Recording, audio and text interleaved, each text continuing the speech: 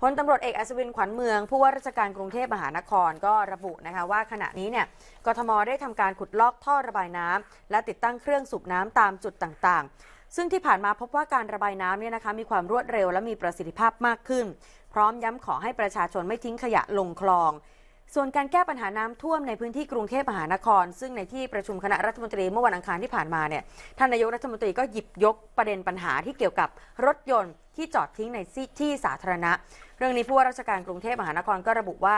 การดำเนินการดังกล่าวเป็นเรื่องของตำรวจ ซึ่งทางกทมจะมีการประสานการทำงานร่วมกัน พร้อมให้สำนักงานทั้ง 50 เขต ชี้แจงทำความเข้าใจกับประชาชน เพราะแม้ว่าปัญหาดังกล่าวอาจจะไม่เกี่ยวข้องกับการกีดขวางทางน้ำไหล แต่ก็ส่งผลกระทบกับการจราจรค่ะ